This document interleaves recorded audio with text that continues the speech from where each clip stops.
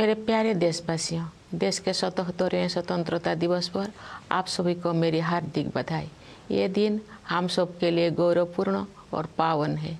चारों ओर उत्सव का वातावरण देखकर मुझे बहुत प्रसन्नता हो रही है।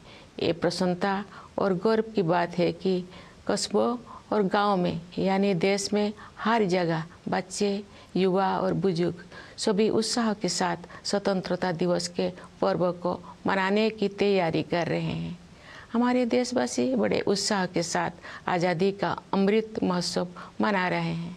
स्वाधीनता दिवस का उत्सव मुझे मेरे बचपन के दिनों की याद भी दिलाता है। अपने गाँव के स्कूल में स्वतंत्रता दिवस समारोह में भाग लेने की हमारी खुशी रोके नहीं रुकती थी। जब त्रिरंगा फहराया जाता था तो हमें लगता था जैसे हमारे शरीर में बिजली सी दौड़ गई हो। देशभक्ति के गौरव से भरे हुए हृदय के साथ हम सब राष्ट्रीय ध्वज को सलामी देते थे तथा तो राष्ट्रगान गाते थे। मिठाइयाँ बांटी जाती थी और देशभक्ति के गीत गाए जाते थे, जो कई दिनों तक तो हमारी मन में गूंजते रहते थे। ये मेरा सौभाग्य रहा है कि जब मैं स्कूल में शिक्षक बनी तो मुझे उन अनुभवों को फिर से जीने का अवसर प्राप्त हुआ।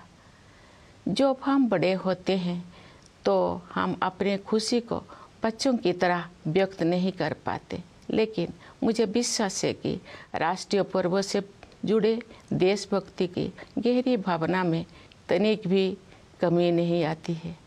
स्वतंत्रता दिवस हमें ये याद दिलाता है कि हम केवल एक व्यक्ति ही नहीं है, बल्कि हम एक ऐसे महान जन समुदाय का हिस्सा है जो अपनी तरह का सबसे बड़ा और जीवंत समुदाय है। ये विश्व के सबसे बड़े लोकतंत्र के नागरिकों का समुदाय है। जब हम स्वतंत्रता दिवस समारोह मनाते हैं तो वास्तव में हम एक महान लोकतंत्र के नागरिक होने का उत्सव भी मनाते हैं। हमें हर एक की अलग अलग पहचान है। जाति, पंथ, भाषा और क्षेत्र के अलावा हमारी अपने परिवार और कार्य क्षेत्र से जुड़े पहचान भी होती है। लेकिन हमारी एक पहचान ऐसे है जो इन सुम से ऊपर है और हमारी वो पहचान है भारत का नागरिक होना। हम सभी समान रूप से इस महान देश के नागरिक हैं। हम सबको समान अवसर और अधिकार उपलब्ध है तथा तो हमारे कर्तव्य भी समान है। लेकिन ऐसा हमेशा नहीं था। भारत लोकतंत्र की जननी है और प्राचीन काल में भी हमारे यहाँ जमीनी स्तर पर लोकतांत्रिक संस्थाएँ विद्यमान थी। किंतु लंबे समय तक चले उपनिवेशिक शासन ने उन लोकतांत्रिक संस्थाओं को मिटा दिया था। 15 अगस्त उन्नीस सौ सैंतालीस के दिन देश ने एक नया सपेरा देखा। उस दिन हमने विदेशी शासन से तो आज़ादी हासिल की है। हमने अपनी नियति का निर्माण करने की स्वतंत्रता भी प्राप्त की। हमारी स्वाधीनता के साथ विदेशी शासकों द्वारा उपनिवेशक को छोड़ने का दौर शुरू हुआ और उपनिवेशवाद समाप्त होने लगा। हमारे द्वारा स्वाधीनता के लक्ष्य को प्राप्त करना तो महत्वपूर्ण था ही, लेकिन उससे भी अधिक उल्लेखनीय है हमारे स्वाधीनता संग्राम का अनोखा तरीका। महात्मा गांधी तथा तो अनेक असाधारण एवं दूरदर्शी विभूतियाँ के नेतृत्व में हमारा राष्ट्रीय आंदोलन अद्वितीय आदर्श से अनुप्राणित था। गांधी जी तथा तो अन्य महानायकों ने भारत की आत्मा को फिर से जगाया और हमारी महान सभ्यता के मूल्यों का जन जन में संचार किया। भारत के ज्वलंत उदाहरण का अनुसरण करते हुए हमारे स्वाधीनता संग्राम की आधारशिला, सत्य और अहिंसा को पूरी दुनिया के अनेक राजनीतिक संघर्षों में सफलतापूर्वक अपनाया गया है। स्वतंत्रता दिवस की पूर्व संध्या पर मैं भारत के नागरिकों के साथ एकजुट होकर सभी ज्ञात और अज्ञात स्वतंत्रता सेनानियों को कृतज्ञतापूर्वक श्रद्धांजलि अर्पित करती हूँ। उनके असंख्य बलिदानों से भारत ने विश्व समुदाय में अपना स्वाभिमानपूर्ण स्थान फिर से प्राप्त किया। मातंगिनी हाजरा और कनकलता बरुआ जैसे वीरांगनाओं ने भारत माता के लिए अपने प्राण निछावर कर दिया। माँ कस्तूरबा, राष्ट्रपिता महात्मा गांधी के साथ कदम से कदम मिलाकर सत्याग्रह के मार्ग पर चलती रही।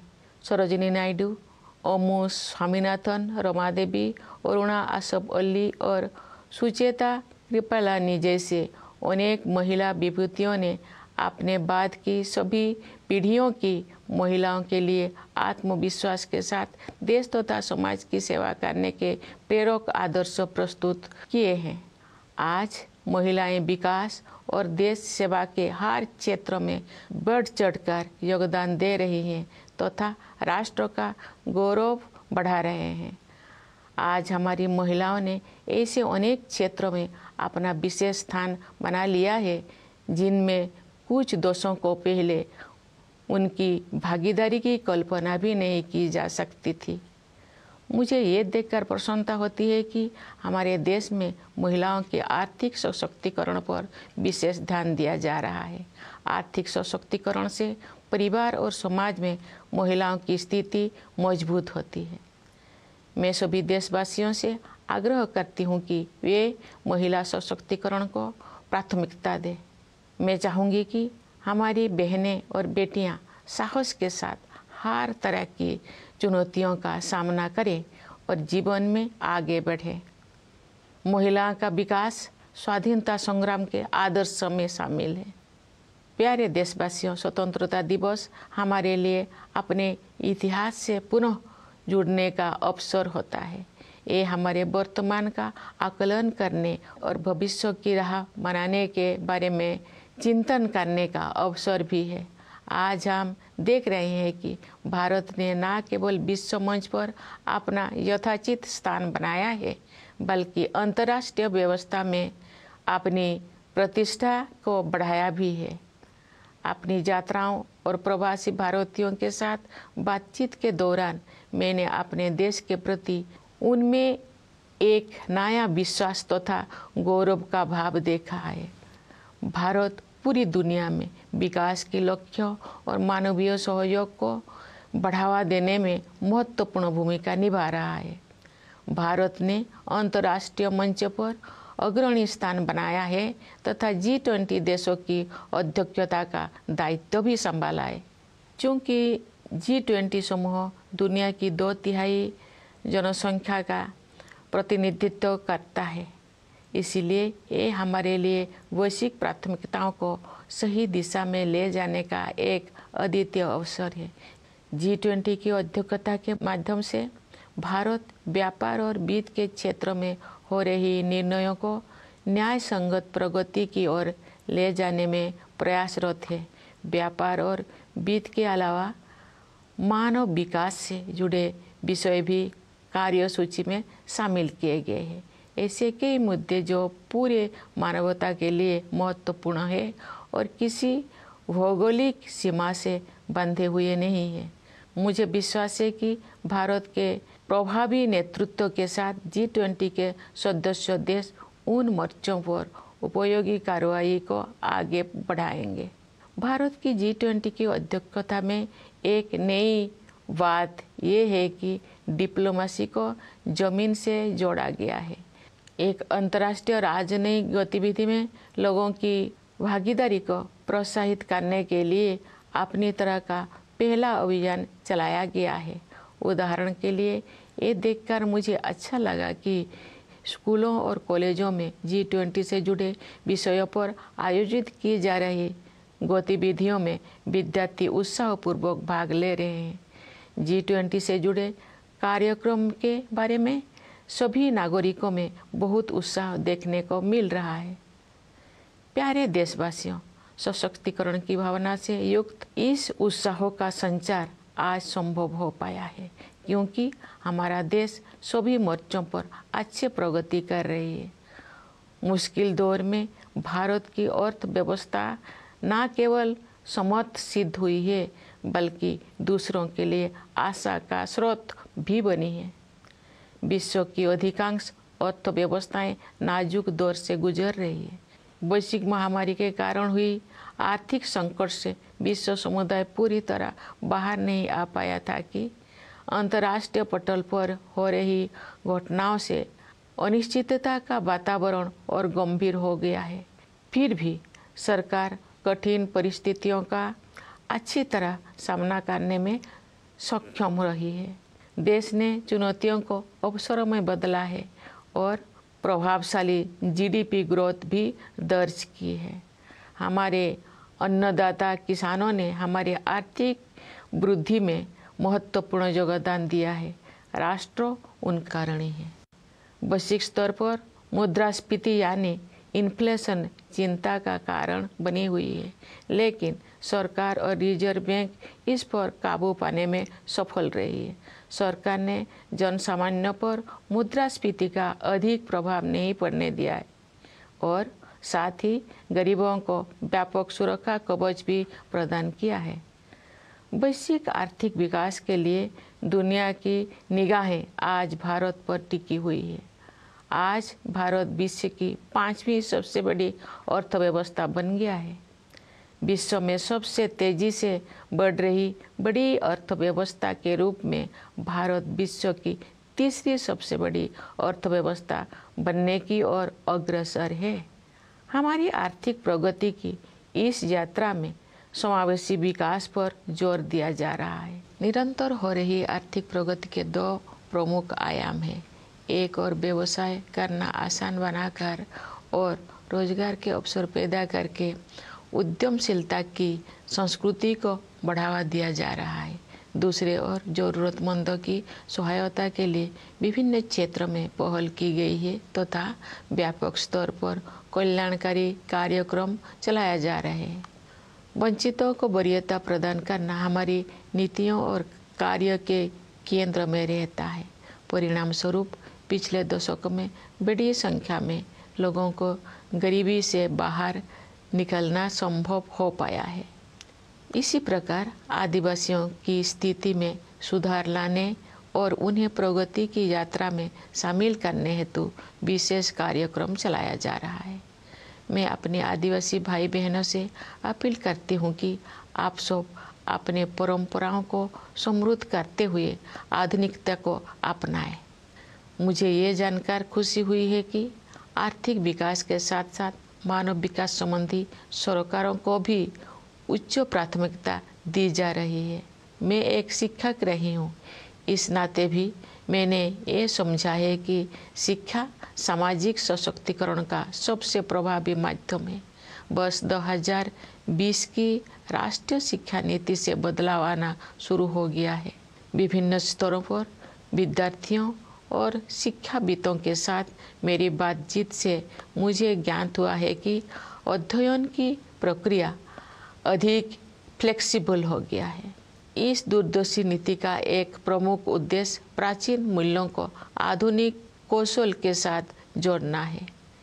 इससे आने वाले वर्षों में शिक्षा के क्षेत्र में अभूतपूर्व परिवर्तन होंगे और परिणाम स्वरूप देश में एक बहुत बड़ा बदलाव दिखाई देगा। भारत की प्रगति को देशवासियों, विशेषकर युवा पीढ़ी के सपनों से शक्ति मिलती है। विकास के अनंत संभावनाएँ देशवासियों की प्रतीक्षा कर रही है।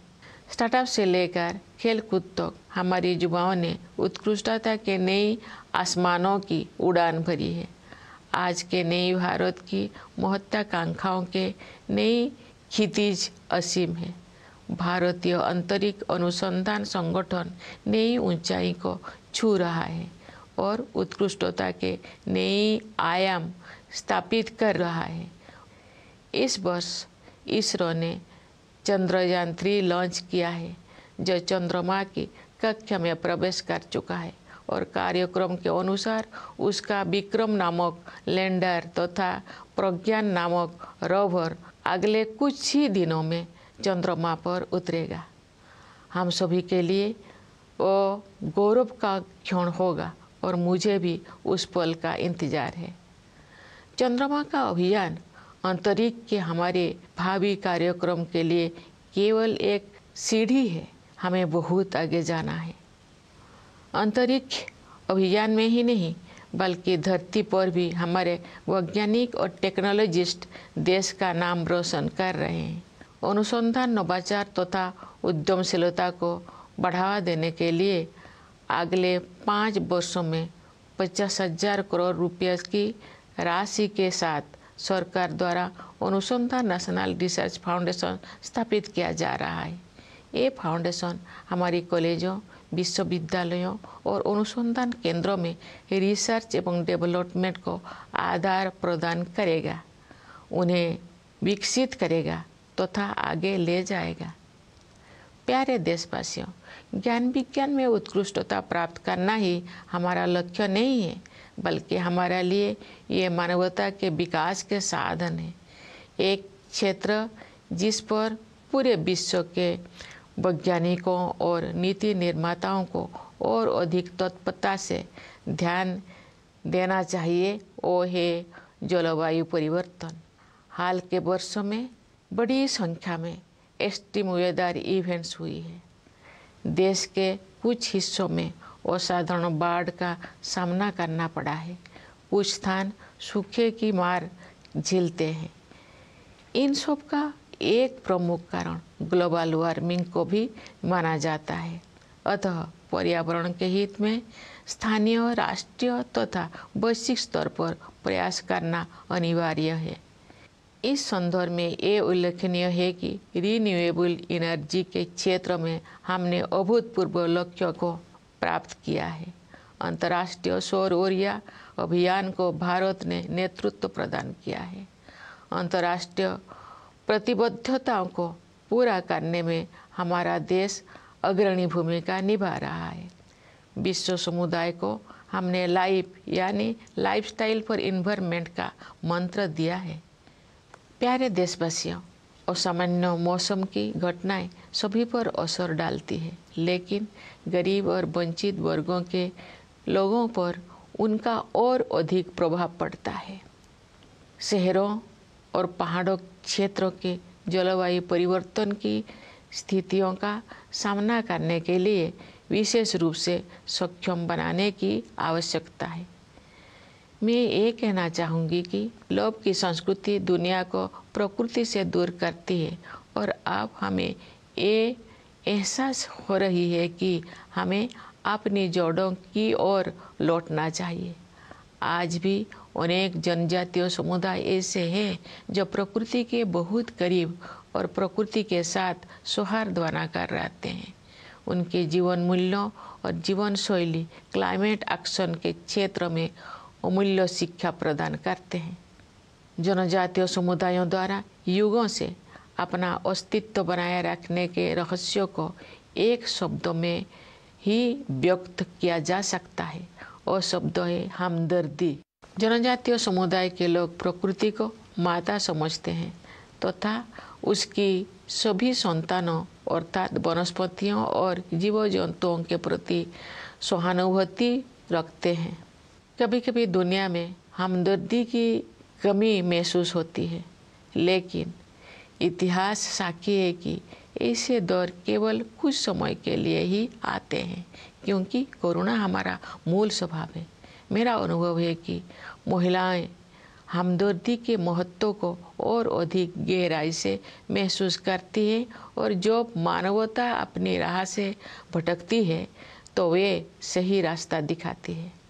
हमारे देश ने नई संकल्पों के साथ अमृत काल में प्रवेश किया है, तथा तो हमें भारत का वर्ष दो हज़ार तक एक विकसित राष्ट्र बनाने की दिशा में आगे बढ़ रहे हैं। आइए हम सभी अपने संवैधानिक मूल कर्तव्य को निभाने का संकल्प लें तथा तो व्यक्तिगत और सामूहिक गतिविधियों के सभी क्षेत्र में उत्कृष्ट की ओर आगे बढ़ने का सतत प्रयास करें ताकि हमारा देश निरंतर उन्नति करते हुए कर्मठता तथा तो उपलब्धियों की नई ऊंचाइयाँ हासिल करे। प्यारे देशवासियों, हमारा संविधान हमारा मार्गदर्शक दस्तावेज़ है। संविधान की प्रस्तावना में हमारे स्वाधीनता संग्राम के आदर्श समाहित है। आइए, हम अपने राष्ट्र निर्माताओं के सपनों को साकार करने के लिए सद्भाव और भाईचारे की भावना के साथ आगे बढ़े। स्वतंत्रता दिवस की पूर्व संध्या पर मैं पुनः आप सबको विशेष रूप से सीमाओं की रक्षा करने वाले, सेना के जवानों, अंतरिक्ष सुरक्षा प्रदान करने वाले सभी बलों एवं पुलिस के जवानों तथा तो दुनिया के विभिन्न हिस्सों में रहने वाले प्रवासी भारतीयों को बधाई देती हूँ। सभी प्यारे देशवासियों को बहुत बहुत शुभकामनाएँ।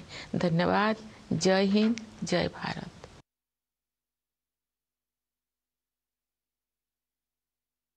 My dear fellow citizens, my heartiest greetings to all of you on our 77th Independence Day. It is a glorious and auspicious occasion for all of us. I am overjoyed to see that festivity is in the air. It is a matter of delight as well as pride for us to see how everyone, children, youth, and the elderly in cities and villages everywhere in India are excited and preparing to celebrate this festival of our freedom. The people have been celebrating Azadi Ka Amrit Mahotsav with great enthusiasm. Independence Day celebrations also remind me of my childhood days. We could not contain our excitement of participating in the Independence Day celebrations in our village school. When the tricolor was hoisted, we felt an electrifying energy pass through us. With our hearts full of patriotic pride, we salute the national flag and sang the national anthem. Sweets were distributed and patriotic songs were sung, which kept playing in our minds for many days. I was fortunate in having an opportunity to relive these experiences when I became a school teacher.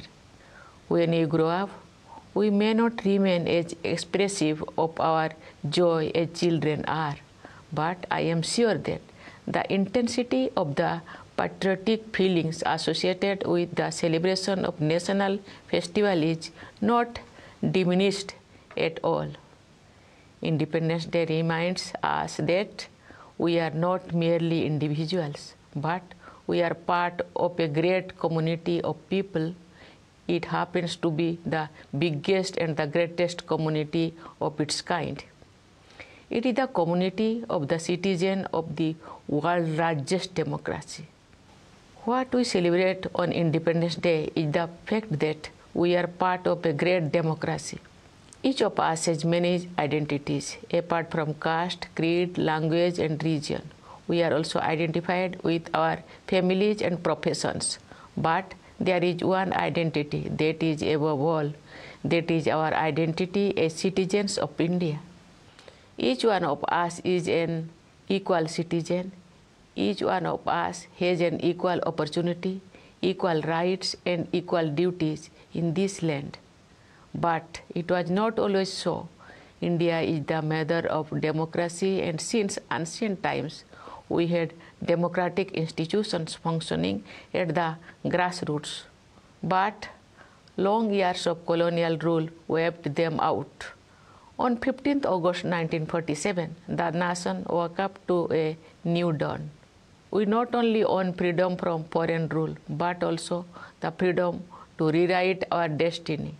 With our independence began the era of foreign rulers withdrawing from many colonies and colonialism drew close to its end. What is special about our freedom struggle is not only the fact that its objective was achieved, but also how it was fought. Under the leadership of Mahatma Gandhi and a galaxy of extraordinary visionary leaders, our national movement was animated by a unique set of ideals. Gandhiji and others rekindled the soul of India and helped the nation rediscover its civilizational values. Following India's shining example, truth and non-violence, the cornerstone of our resistance, has been successfully employed in many political struggles around the world. On the eve of Independence Day, I join my fellow citizens in paying grateful tribute to the known and unknown freedom fighters whose sacrifices have made it possible for India to regain its rightful place in the Committee of Nations. Great women freedom fighters like Matangini Hajra and Kanakolata Borua laid down their lives for Bharat Mata. Ma Kosturaba matched the father of the nation, Mahatma Gandhi, every step of the way on the difficult path of Satyagraha. Many great women leaders like Sarojini Naidu, Amu Swaminathan, Rama Devi, Aruna Asaballi, and Sucheta Kripalani had set inspiring ideals for all future generations of women to serve the nation and the society with self-confidence. Today, women are contributing extensively in every field of development and service to the country and are enhancing the nation's pride. Today, our women have made their special place in many such fields in which their participation was unimaginable a few decades ago. I am happy to note that the economic empowerment of women is being given special focus in our country. Economic empowerment strengthens the position of women in the family and society. I urge all fellow citizens to give priority to women empowerment. I would like our sisters and daughters to overcome challenges with courage and move ahead in life. Development of women was among the ideals of our freedom struggle. Dear citizens, Independence Day is an occasion to reconnect with our history.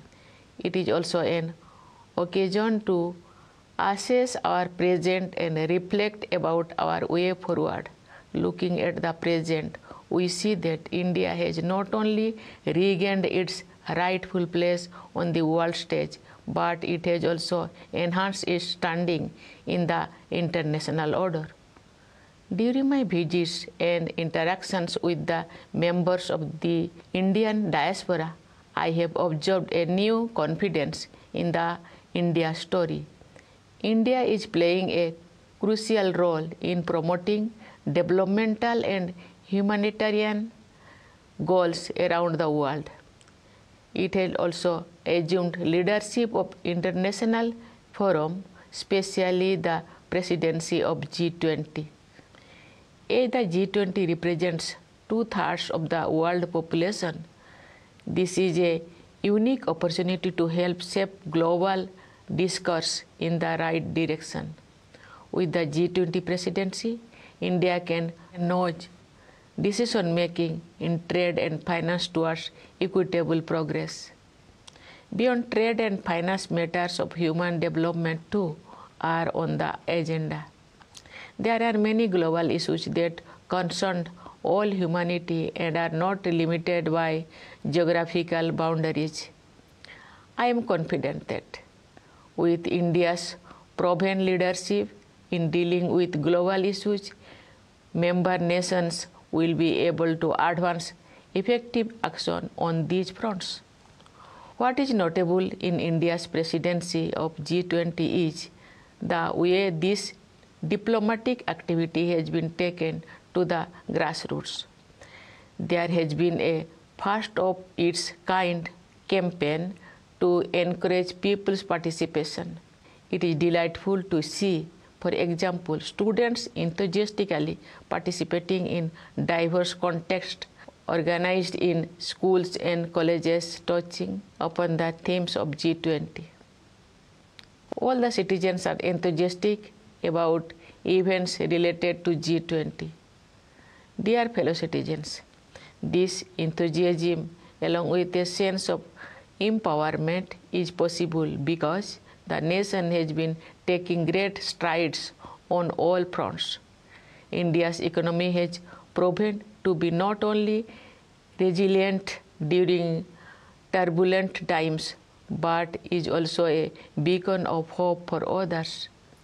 The world economy is passing through a delicate stage as the pandemic has been followed by international events that have added to the air of uncertainty.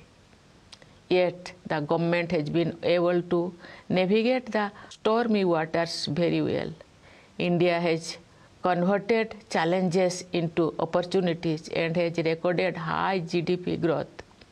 Our Annadata farmers have contributed significantly to our economic growth.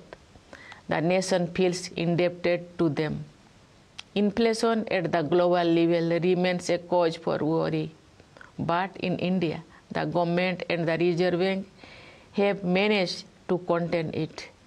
The government has succeeded in protecting the common people from high inflation while also providing a more extensive security cover to the poor.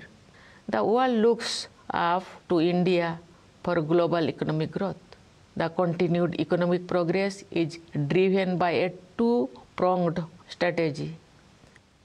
On the one hand, there is a sustained push to unleash the forces of enterprise by making it easier to do business and generate job opportunities. On the other, proactive and expanded welfare initiatives for the needy have been taken in various domains. Giving priority to the deprived remains the focus of our policies and actions that have lifted a large number of people out of poverty in the last decade.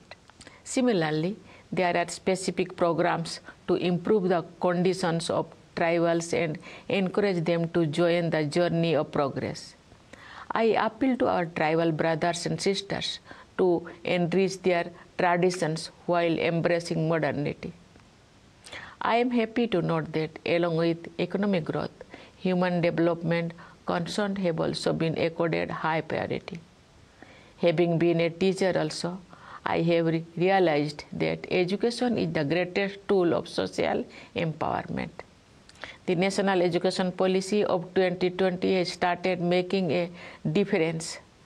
From my interactions with students as well as educationists at various levels, I gather that the learning process has become more flexible.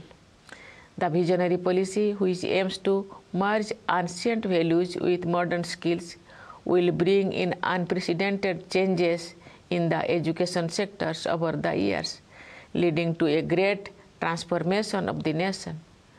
India's economic progress is powered by the dreams of its people, particularly the young generation for whom limitless opportunities have opened up.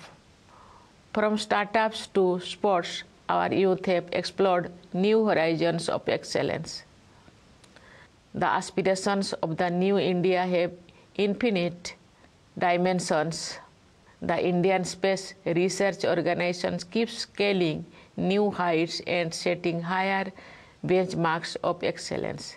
This year, ISRO launched Chandrayaan 3 and its lander named Vikram and its rover named Pragyan are slated to land on the moon in the next few days. It will be a proud moment for all of us, and I look forward to it.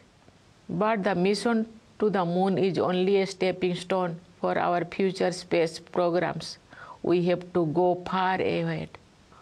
For their work in space and also on Earth, our scientists and technologists are bringing laurels to the country to foster the spirit of research, innovation, and entrepreneurship, the government is setting up the Anusandhan National Research Foundations with an amount of rupees 50,000 crore for next five years. The foundation will seed, grow, and promote research and development in our colleges, universities, and research institutions. Dear citizens, for us, science or knowledge are not ends in themselves, but are a means for the betterment of all the people. One area that merits urgent attention of scientists and policymakers all over the world is climate change. We have faced numerous extreme weather events in recent years. Parts of India have faced extraordinary floods. At the same time, there are places facing drought. These events are also attributed to the phenomenon of global warming. Therefore, it is necessary to make efforts at the local, national, and global levels for the environment. In this context, it is noteworthy that we have achieved unprecedented goals in the field of renewable energy. India is providing leadership to the International Solar Alliance. Our country is playing a leading role in fulfilling international commitments. We have given the mantra of life, that is, lifestyle for environment, to the global community. Dear fellow citizens, extreme weather events affect all, but their impact is far more severe on the poor and the marginalized. Cities and hilly terrains especially need to be made more resilient. The larger point here is that the culture of greed takes the world away from nature. We now realize the dire need to return to our roots. I know that there are still many tribal communities who live very close to nature and in harmony with it. Their values and lifestyle offer invaluable lessons for climate action. The secret of the survival of the tribal communities through ages can be summarized in one word. That single word is empathy. They have empathy for all Mother Nature's fellow children, flora and fauna alike. Sometimes, however, the world seems to be suffering from a deficit of empathy. But history shows that such periods are only aberrations, and kindness is our fundamental nature. It is my experience that women have empathy in greater measure and they show the way when humanity goes astray. Our country has entered Amrit Kal with new resolutions and we are moving forward towards making India an inclusive and developed nation by the year 2047. Let us all take a pledge to perform our fundamental duty to strive towards excellence in all spheres of individual and collective activity so that the nation constantly rises to higher levels of endeavor and achievement. Dear fellow citizens, our constitution is our guiding document. Its preamble contains the ideals of our freedom struggle. Let us move forward with the spirit of harmony and brotherhood to realize the dreams of our nation builders. On the eve of Independence Day, I once again extend my Greetings to you all, especially to our soldiers guarding the borders, Joans of the forces, and the police providing internal security, and to the members of our diaspora living in every part of the world. I convey my best wishes to you all. Thank you. Jai Hind, Jai Bharat.